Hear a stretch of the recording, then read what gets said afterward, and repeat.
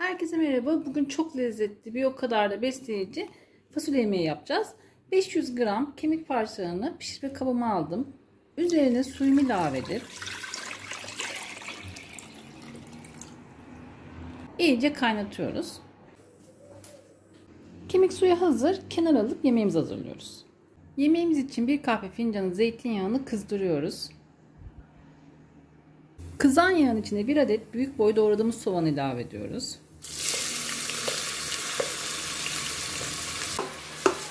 Kavuruyoruz.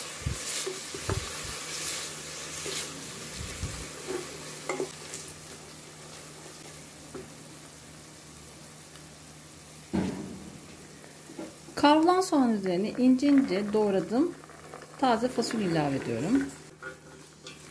10 dakika kadar kavuruyorum.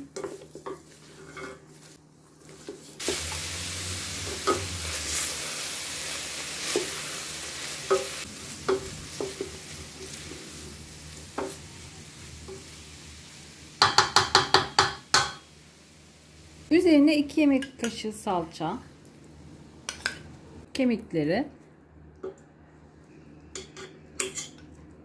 İsterseniz direkt suyu da boşaltabilirsiniz kemikleri kullanmadan. Kemik ayrı bir lezzet katsın diye ben kemikleri de kullanacağım.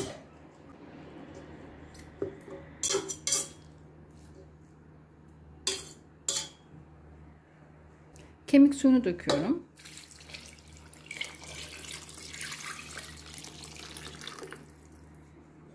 Tuzunu, karabiberi de ekleyip göz göz oluncaya kadar kaynatıyorum. Göz göz olan yemeğimizin üzerine bir çay bardağı yıkadığım bulgur ilave ediyorum. Fasulyeler istediğim kıvama gelene kadar çok kısık ateşte pişiriyorum.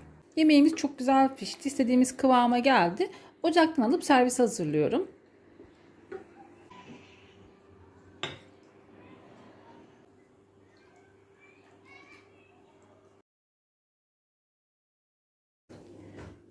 Yemeğimiz servise hazırdır.